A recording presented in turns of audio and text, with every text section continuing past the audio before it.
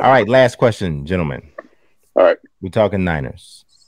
Who gives the Niners a better chance to win in week 18? And this one is this is important. This Yeah. is this is freaking important. Like this game is freaking important, peeps. Like it's important. Is it Trey Lance? Does she give it? I mean, he started in week 17 Mhm. and was able to help guide them to a victory, or is it Jimmy Garoppolo, you know, who looks like the 2021 Marlboro man without his hat? And Wow, that's Kyle old school. Shanahan, Kyle Shanahan has to make a decision about where he's going to go with this whole thing. So, for me, honestly,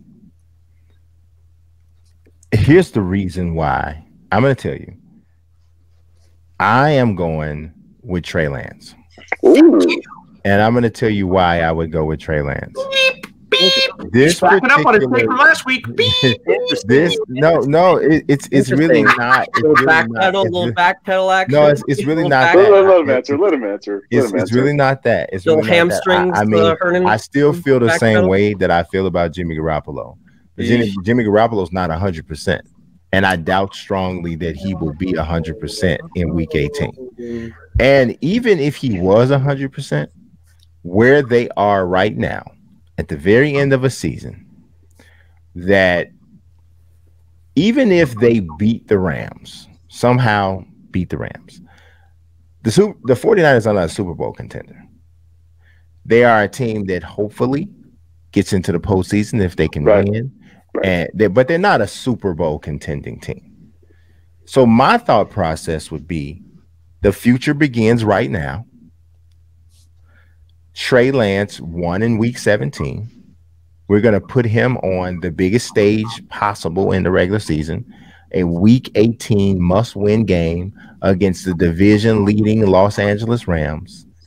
And if this kid can win us into the postseason, maybe he gets hot in the postseason and some different things happen. But we go in either way, if he gets us this victory, we go into next year with insane momentum with a quarterback who has more than likely won over his teammates, even more so than he might have from the beginning anyway, uh, because of his late season success and maybe whatever they can do in the postseason. If Jimmy Garoppolo were healthy, then I would probably say, you know, if he if Jimmy Garoppolo was healthy and he won them the game in week 17, then I would say Jimmy Garoppolo's the guy. But because I don't believe he'll be 100%, Trey Lance played well in week 17. I'm going ahead right now and I am moving forward with the Trey Lance Hmm. era starting right now. Hmm. That's the decision I make. What say you, Paul? Brian, thank you. I was getting a little lonely on the Trey Lance train, so I'm glad you're you're coming This on. is my dog. This is my dog. I just, you know, I just wasn't on the Bash Jimmy train that you guys were on He's last. still uh, Jimmy G true there. You know? Sure. I, I'm still, I is the way still, I still think Jimmy G is a solid starting NFL quarterback. Mm. Let me say this: is No. that again? Last week, I got trashed for my prediction on Trey Lance, my conversation on Trey Lance. But folks, I, I feel like I've said this before, but maybe it's short-term memory loss on the show. I don't give predictions; I give spoiler alerts, people. So get ready for this take, and I am ready. I am ready to push this baby and drive and hit the pedal to the metal. Because here's the mm-hmm. thing: I remember and my memory's a little funky. I remember a couple years ago the 49ers had a little injury at the quarterback position. They they switched over from Alex Smith to some guy named Colin Kaepernick. And oh yeah, they went to the Super Bowl, man. So let me say this. With Jimmy Garoppolo, the 49ers are a one and done team in the playoffs. With Trey Lance, the ceiling is Super Bowl. That's what oh. this guy does. The ceiling rises. His ability to both run the football, throw the football, he's a dynamic player. Jimmy Garoppolo is not dynamic. He is basic. He is blah. Okay, maybe I'll win some modeling contest. Good for you, man. I'm talking about the football. That's the marble man.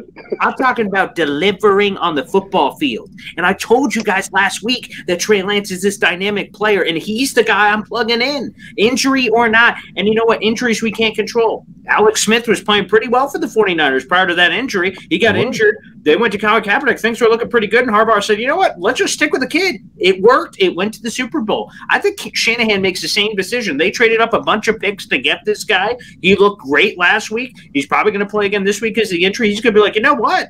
Things are spicy. Let's roll that train, baby. Toot toot. And toot toot may take them to the Super Bowl. So I don't think all these people saying 49ers may not be Super Bowl contenders. You look at that defense, you look at some guy named Deebo Samuel, look at the pieces on this team, man.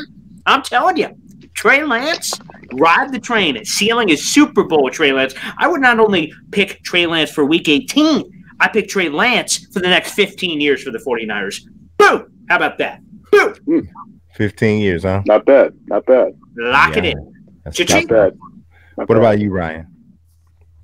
Yeah, you're out of your mind if you're still on the Jimmy Garoppolo train. You're out of your mind. I mean, Kyle Shanahan completely changes his playbook when it comes to Trey Lance. I mean, Mhm. he wants to go downfield with Trey Lance. You see the explosiveness with the weapons with Deebo and Kittle. I mean, all you see with Garoppolo are you know place you know throws down over the middle of the field where there's tons of traffic and that's where it can lead to turnovers and you saw that against the Titans. I mean, I don't know what, you know, 49ers fans were thinking, you know, I was looking at the comments, you know, you know, over the hill, over uh, Garoppolo. I mean, wh- what are we doing here? Like, this is 2022 right now. You drafted a quarterback with the third overall pick. You have Trey Lance, and look, he was a little bit shaky in the beginning. I mean, that's what's going to happen. You haven't played in a while, but then you come in and you beat the Houston Texans, and I know they're not that great, but they also beat the Chargers the week before, so you can't say really anything about that. So Trey Lance, I mean, the passing charts don't even lie when it comes to Mhm. these two quarterbacks. They're completely different. Jimmy Garoppolo is a whole lot of blah. Um, I don't know how there are still Jimmy Garoppolo truthers out there. I mean, you're just basically defending a brutally, brutally fragile average quarterback at best. That's what that's just the numbers. The numbers don't lie. You know, the eye test doesn't lie. And look, we're in a passing league. I mean, th- you got to start utilizing these uh, George Kittles and these Deebo Samuels, man. And you know what? You saw it with Trey Lance. You're not going to be seeing it with Jimmy Garoppolo with a fractured finger for crying out loud. Like, come on, what? We're, Mhm. we're we're just being like we're being like clowns in a way. Just even asking this question because it, it really makes no sense. A fractured finger, and you're just going to put him out there against the Rams? Are, are we are we joking here? Like, let's put in Trey Lance, and whatever happens with, I don't care if he throws four picks next week, Trey Lance. It, I still think it's the right pick. Yeah, I, I would agree with that. I, I don't. It, it, it being the right pick really doesn't have anything to do with Mhm. how well he plays, uh, and the biggest reason is because of the injury. It's, I mean Jimmy's injured, mm-hmm. and Jimmy's and even if he was able to get on the field, I don't think he'd be hundred percent.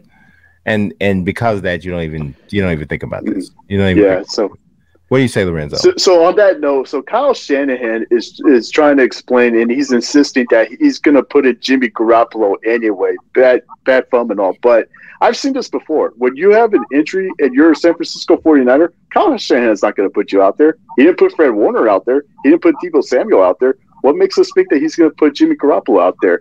You go with the guy who gave you an element you haven't seen in quite some time, three seasons to be exact. That's Trey Lance. And here's another thing to think about. So, yeah, the 49ers are run first, pass later.